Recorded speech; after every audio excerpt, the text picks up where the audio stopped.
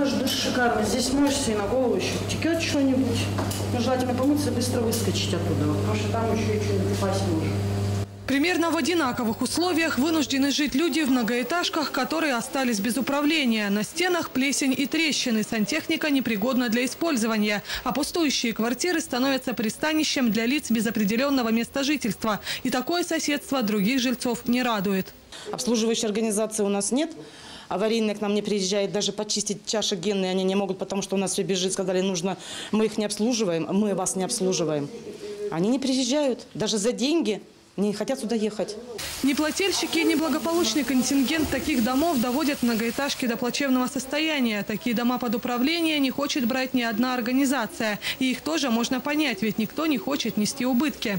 Страдают в этой ситуации прежде всего те, кто оплачивает все квитанции, в их числе и жильцы муниципальных квартир. Проблемой серьезно занялась администрация Канска. Согласно жилищному кодексу, органы местного самоуправления должны заниматься поиском управляющих компаний для брошенных домов. Власти объявляют торги, но это не дает ожидаемого эффекта. Или управляющая компания отказывается брать проблемные дома, или жильцов не устраивает новый ценник. Как итог, на сегодняшний день 21 дом в Канске без управления. В зоне риска у нас находится очень много домов, и э, мы считываем намерение управляющих организаций прекратить управление в отношении многоквартирных домов, которые э, не производят оплату своевременно за коммунальные ресурсы, за содержание жилого помещения.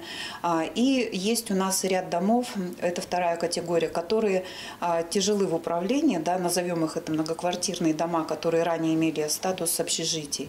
Решить проблему домов, оставшихся без управления, могут изменения в жилищном кодексе, которые вступят в силу в январе 2019 года. С нового года органы местного самоуправления наделяются полномочиями выбирать и назначать управляющие организации, закреплять их заброшенными домами. Выбирать их будут по рейтингу и назначать на срок не более года. Татьяна Сандул, Вячеслав Морозов и Александр Минеев. Телекомпания «Канск», Пятый канал.